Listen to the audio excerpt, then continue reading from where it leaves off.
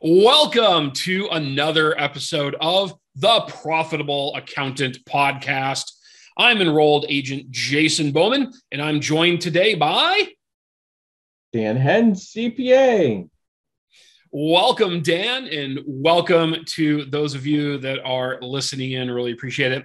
Uh, we are going to dive right in to some some juicy goodness brought to us uh, this past week by the Treasury Inspector General for Tax Administration uh, with their August 11th report, report number 2021 30 042. Uh, and I will put a link down below in the show notes as well.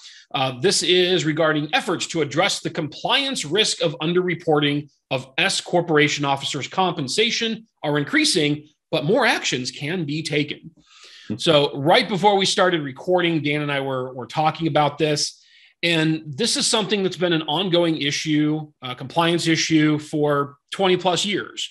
Um, the, the, the courts have found repeatedly that the IRS has the authority to reclassify distributions uh, from an S corp uh, into wages and then to make an assessment against the the S corp for the unpaid payroll taxes. Uh, this is primarily an issue having to do with FICA um, and making sure that the Social Security and Medicare taxes are being paid. So, what was really, really interesting to me about this report is that yet again, continuing problem, TIGTA found that approximately 50%. It was 49.5. Almost half of all S corporations are paying zero reasonable compensation to their shareholder officers.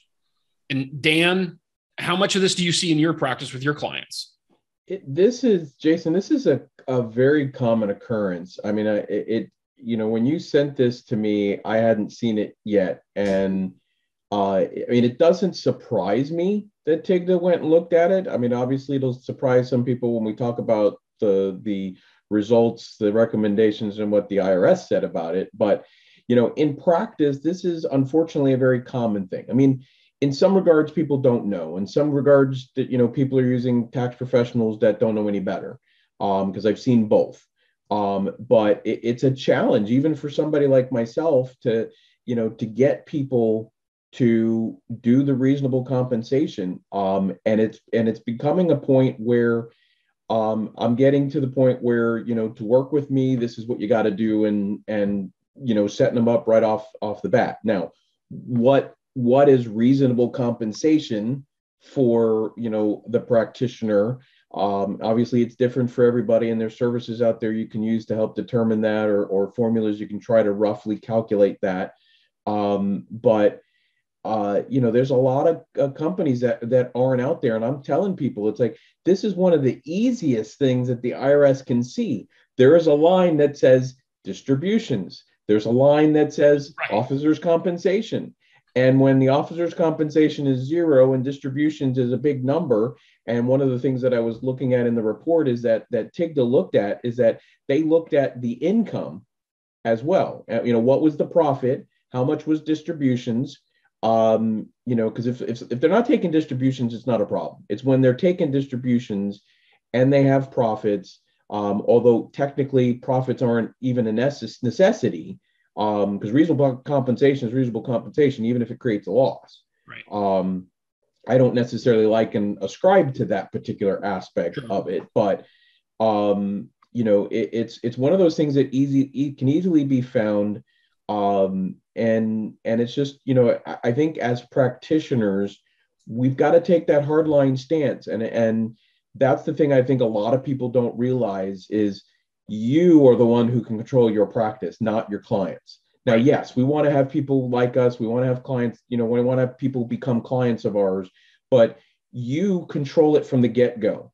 If you want to, you know, you tell them, you want to be my client uh, you know and it's easier when they're referred to you as opposed to somebody who just finds you off the street but you know if you want to be my client this is what you need to do and this is how we're going to do it um, and that's you know we've we've got a mutual friend of ours this is where i first learned kind of something like this that he makes uh, he's a CPA in California where he uh, makes his clients. If you want to be my client, we do your QuickBooks. Um, yes. and, you know, and and I I like that. Um, I don't want to do the bookkeeping, so I don't do that. But I like that particular aspect because if, obviously, if you can control the bookkeeping and you've got the staff to handle that and manage that aspect of it, then you know that it should hopefully be done correctly.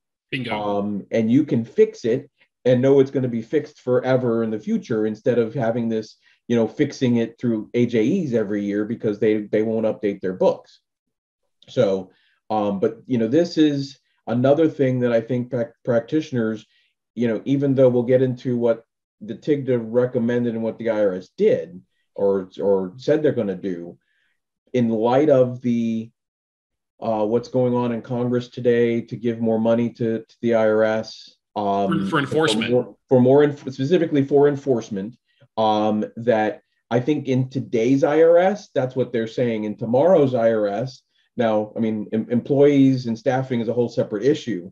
Um, but you know, if they get the people and they get them on board, and of course, this is something we're talking about probably two or three down, years down the line. But you know, they can easily pull up a report and find you know dozens of people um, in a particular you know zip code probably even thousands of people in a, in a particular zip code that aren't meeting this criteria and quickly send them a notice mean this is this is something you can do a, a correspondence audit just on that alone correct and and find a lot of hidden money um, and cause a lot of new collections problems Absolutely. Uh, let me share with you some some uh, quick stats here from from the report. Um, first of all, uh, this problem they're estimating is contributing uh, a little, uh, pretty close to about ten percent of the estimated tax gap. Um, so, from that perspective, it may not sound like a huge problem, but I mean, $30 billion is $30 billion. Uh, you know, even in this era of, you know, trillion dollar um, uh, spending packages going through through Congress without much of a, of a blink of an eye. Um, from this, it shows that 90%, 90% of S Corps have only one shareholder. Uh, so obviously, it's the majority of the folks uh, out there. It is a very popular um, uh, uh, vehicle for running a business. Uh, what TIGTA found was that 371,000 S Corps had labor costs, but didn't issue W 2s. So there's a W 2 and W 3 compliance problem as well. Um, and I already mentioned half, half of these S Corps are not uh, issuing any officer's compensation whatsoever. So when when you when you take a look at these numbers and just how how prevalent the, the issue is, um, and and then you also look at you know once you understand a little bit about the IRS computer systems, like you already said, it's dirt simple for the IRS to pull a report of exactly who to send the notice to, and the the uh, the the TIGTA report does applaud the IRS for some of their past compliance initiative programs, um, you know, special compliance initiatives that they've done to try to address some of these things. And they acknowledge it has gotten better over the past decade.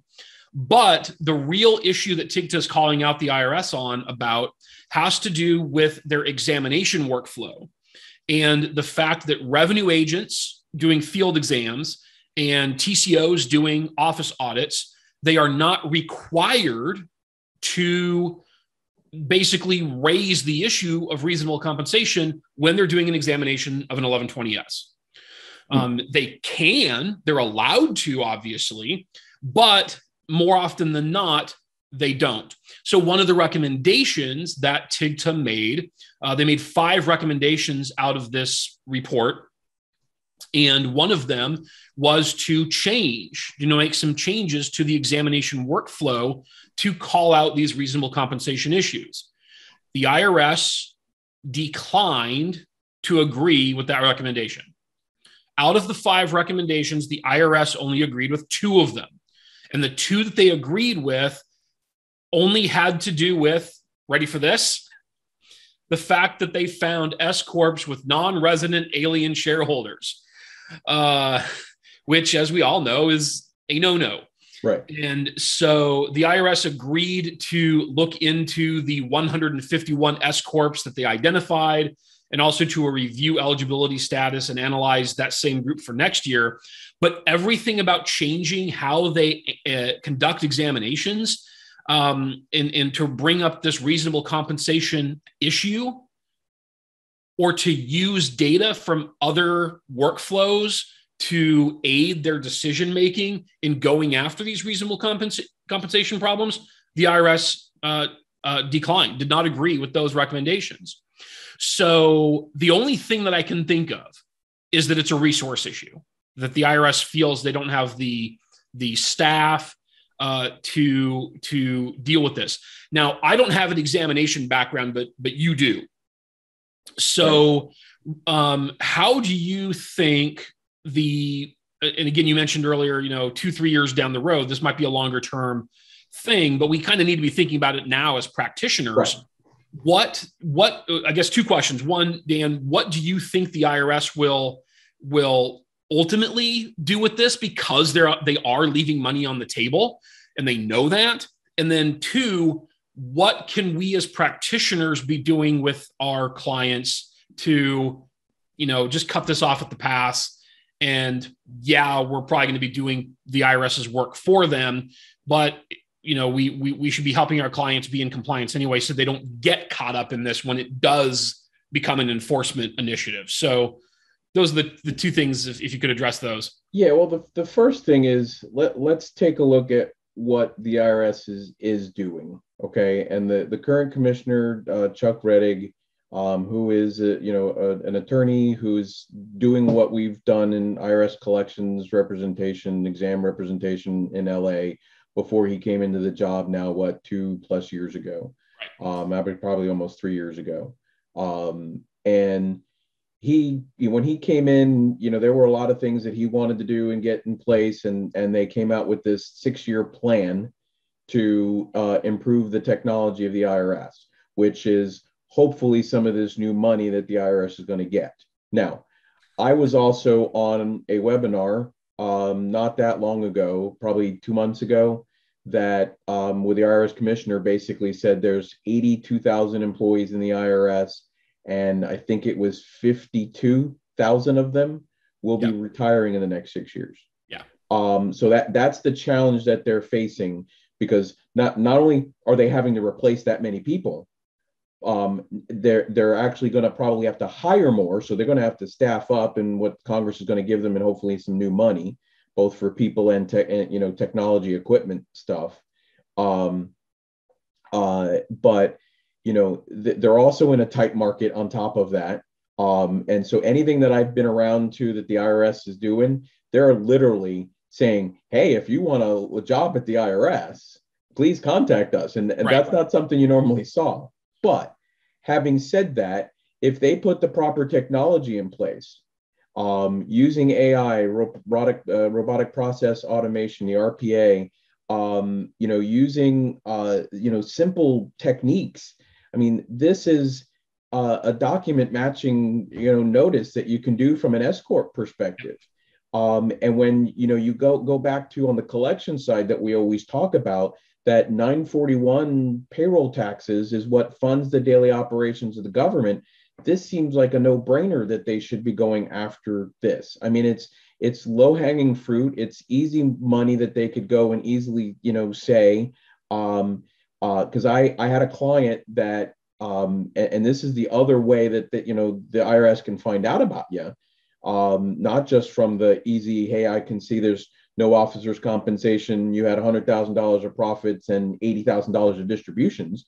Um, but we you know here in florida we don't have an income tax right but we do have state unemployment tax now that state un- unemployment tax can generally range from you know as low as like seven dollars a person because it's it's a, a, a tenth of a percent on the first seven thousand dollars to as much as i think it could be as high as of about almost four hundred dollars a person so it's not a huge tax that we're talking about. So if you have a lot of employees, then it's a bigger tax. But the the sole guy, I mean, it could be as low as seven bucks.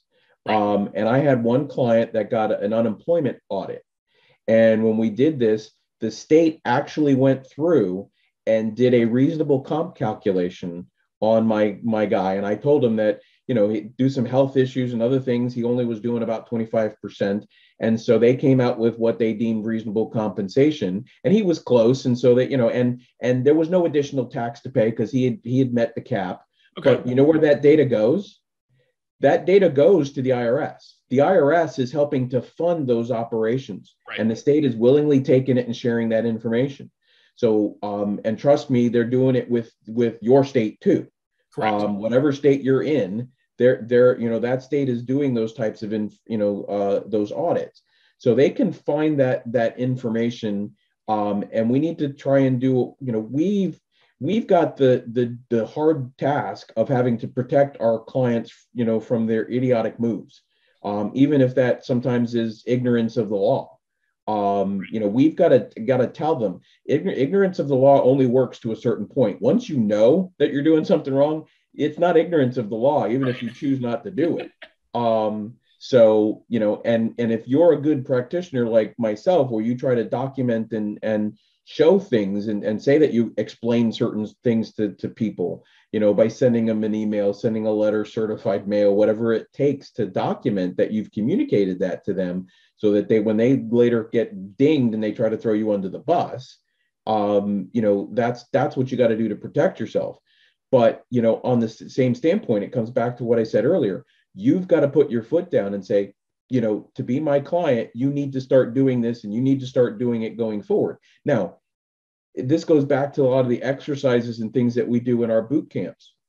When we when we do our exercise with randy the realtor one of the things we recommend to help try to fix Randy and help him to get out of of him being you know pyramiding his debt and having it happen every year is you know as a realtor you know if he can you know because there are some states that have some quirky laws and things about you know having this but have him create an llc have him be an s corporation have him you know do that and pay reasonable compensation even if sometimes what we say is reasonable compensation to start with might be 100% of his of his income just so that we can get Randy so that he's because the kick in the pants happens at the, the end of the year because they didn't make estimated payments. Now they owe self-employment tax plus income tax. And then and then you you know you, you get this big kick in the pants with this uh, you know fifty thousand dollar bill when he could have been paying that a little bit each month through payroll taxes, had some big nice withholding, so it's the eating the elephant theory that I say, you know, how do you eat an elephant? You bite, you eat it one bite at a time. So if you make it into smaller bites and pieces for Randy to pay his payroll, then now he's got a sixty thousand dollar salary at five thousand dollars a month. You you know you have him pay a thousand, fifteen hundred, two thousand dollars in federal withholding, um, so that now he's covered for his wage as well as any extra you know pass through income. Then you know then you're doing them a service to to help that um, I had this in, an email conversation with a client uh, just today about that. You know that that you know he likes that, but he's got to have some minimum amount that's coming up in his personal bank account to pay his personal bills. And then and then you know then the flip side is, um, you know how do you uh, you know try to make sure that you document that and communicate to them that, that now they can take distributions. But I always tell people don't do the distributions in any regular form or fashion, same amount, same frequency, you know, that type of thing. Because otherwise, what's it look like? You know, another payroll. So right. we want to avoid that. Um, so, you know, if you can do that, and you know, and I would say for many businesses, that reasonable compensation is probably between 40 and 60, depending on the market, the state. You know, obviously out west, it might be a little bit more than than something, you know, out east. Um, but and, and it depends on what they do. I mean, you know, software software engineers, you know, could be a higher rate or um, in fact, there was on our on our group call today, the tax resolution office hours call. Somebody said we were talking about employment and you know finding uh, people, and they said uh, one tax manager, somebody uh, had a friend that was a tax manager in South Carolina, was offered two hundred and fifty thousand dollars to get a job in South Carolina. Wow. Um, so um, you know, so there, you know, there are things out there like that, but but the biggest thing is we've got to help our clients understand what the rules and responsibilities. Um, the other thing that that the TIGTA report um, talked about was, um, I think it said that what was it, 3.3 billion is not going into Social Security and Medicare. Um, so you know that that alone, I always tell people that you know when you get your S election, the S election letter says you must pay reasonable comp- compensation. I right. mean, it's right there in black and white. Um, so you you almost you can't say that you haven't seen it. Now, obviously, getting it and reading it are two totally different things. True. But it's usually so, part of the problem. yes, um, but you know that's why it, you know at least from the standpoint of of you know we talk about computers replacing our jobs and doing things, and I could totally see that more a lot more so in individual world and it can you know and it will happen in the in the business world too. But you still Slower. can't replace you can't replace the the knowledge that we have as as professionals and they still don't know everything that they need to do. Um, and so they're still going to be higher wealth people you know the s corp uh, partnership c corp owners you know are going to still want to seek us out. Um, uh, but you know it, it, so to answer your question is the irs is making changes um, and and there there are going to be changes that can be easily done and taken care of. Um, in fact, I don't. I think you've probably seen that the, that the IRS is making an effort to try and go paperless. Yes. Um, and so there are things that are going to start happening like that, and and ho- they don't have to start paying that that uh, the postal service for for for all the the mail that they're sending. Right. Um, and how much money they can save on on that um, you know, there are a lot of things they can do with that extra money. Um, and sending a notice through a, a an e-portal uh, will be one of those things that will be a, a whole lot. I mean, so there's things that are changing like that that are going to make it easier. And I think the, the thing as a practitioner, um, we got to put our foot down. We've got to tell clients the, the rules of the road to work with us. And then we've got to make them and encourage them to do that. Whether we get them with a payroll company or you do the payroll yourself, I've got m- m- I do payroll, but I only do pretty much the officer onesie twosie type things. Sure. So you're going to work with me. We're going to set you up in a payroll. We're going to get you going. We're going to get you some reasonable compensation. And in fact, something's better than nothing. So, you know, and I had that happen with a client where uh, a TCO was doing a desk audit on on a return on the individual, didn't do the business. I, apparently, they looked at the business and said, um, hey, I happen to see he's not doing reasonable compensation. That's something going to need to, to start doing. So, you know, when you've gotten that verbal warning, and I don't know what kind of notes she makes in the file, but if that's in the file somewhere, um, that that's been communicated, you need was to, noted. You you need to fix things like that um, because you know that's kind of that almost kind of goes back to some of the rules when we talk about the trust fund recovery penalty about being willful and responsible. Um, responsibility is hard to get out of, but willful is an easier thing to to try and do. But once you know, now you're willful if you don't make the change, and and that's what you got to try to try to avoid. I mean, this you, you mentioned this, but I mean the, the the standard thing I always did with collections cases um, was to put the person on 100% payroll, meaning that for the period during which I was representing them and we were working towards a resolution, so usually a period of roughly about six months. Um, you put um, everything that they're taking out of the business is run through payroll.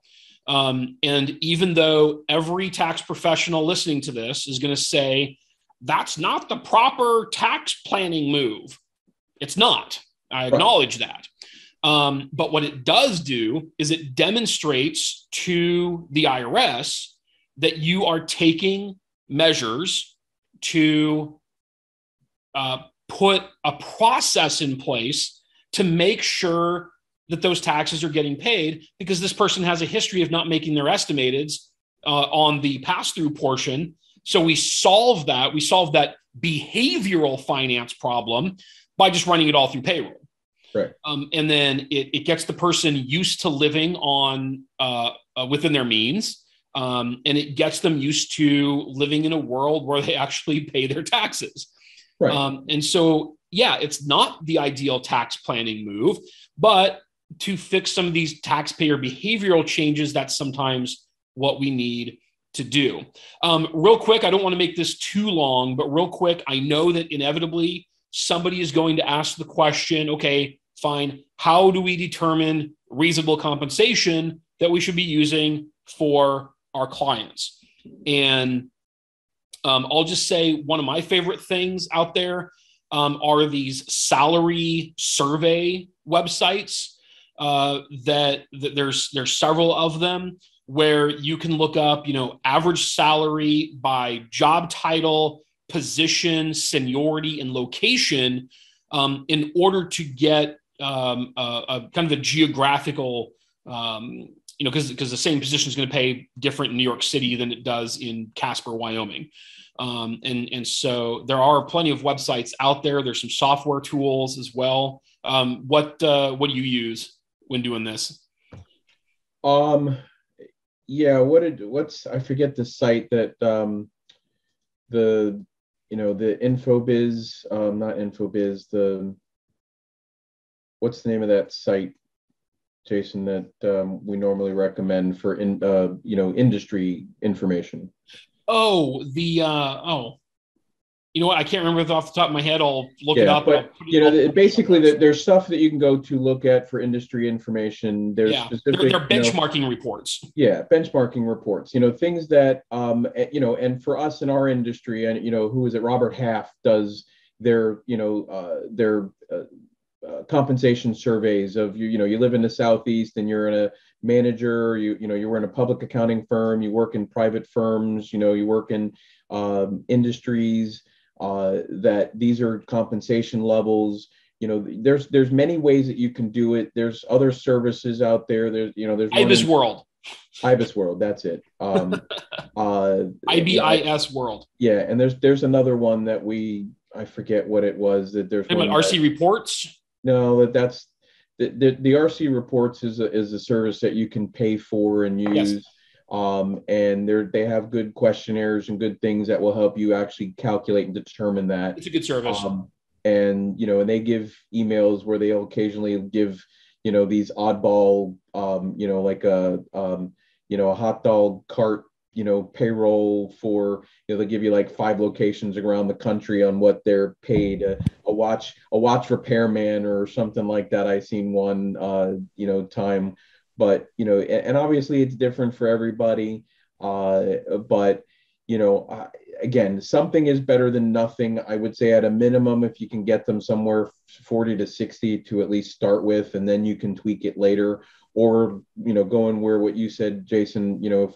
if they were doing a hundred thousand dollars and we put them on a hundred thousand dollar paycheck roughly um, and then just get that to start with and then maybe you can dial it back once you've determined what the reasonable compensation is because you, you've got you've got a legitimate reason as to why um, you know you're you're getting somebody to do uh, that particular reason. You know it's you're fixing their collection you know problem so that they're not doing it every year. And now we're trying to get them on the straight and narrow uh, that that here's the reasonable comp. And, and obviously the more data you have to support it the better off you're going to be uh, because trust me that the the IRS you know has those tools at their resources just like they you know on the collection side we talk about you know using um, uh, you know the uh, Kelley Blue Book or using you know real estate tools, good real estate tools, not the Zillow or Realtor.com. They actually have good real estate estimating tools for values of real estate. They're you know they're going to do the same thing from a compensation perspective, but this is the thing that to me I would easily say somewhere between the next five and 10 years, this is something that I could see become a, a, a very, you know, coordinated issue uh, that they do because somebody's going to realize that it's the low hanging fruit. It's going to be easy, something to say, hey, I can I, I can find something on a tax return that probably relates to to this one thing. You know, when you figure half of S corps that you know that that you know if you figure statistically half of the S corps they're auditing should have this problem. Right, and and this TIGTA report clearly um, indicates that they they already know who these folks are because they can pull the data and, and all the records with the name and address on it in order to do the TIGTA audit. You know, right. so in order to pull their sample set, they're pulling the data. And so um, I think your five to 10 year estimate is um, extremely optimistic. I would expect within the next two years um, that uh, this will will happen because it is low hanging fruit, even with the technology they already have in place. Well, no, I, I see. I think it's just again more of a resources thing, and, and we'll see what happens with, sure. with Congress giving them more money. If they can get more money yeah. um, from this it, is a no-brainer. I, to- I totally see that timeline that I just gave a lot better. And the other thing that I found that was interesting in this data set, Jassen, is that the data that we're using and what TIGTA used, it says was from uh, 2013 data. Yeah. So could you imagine how much more, how different it is with today's data? If they were using 2020, yes. 21 data, um, I'd say it's probably even more so. Um, you know, because I mean, I had a client that got a kick in the pants because of the uh, the whole coronavirus thing and the PPP because he wasn't taking a paycheck. Right. Um, and there were some people that were somehow still doing it without that. I don't know how, but you know they were they were doing that.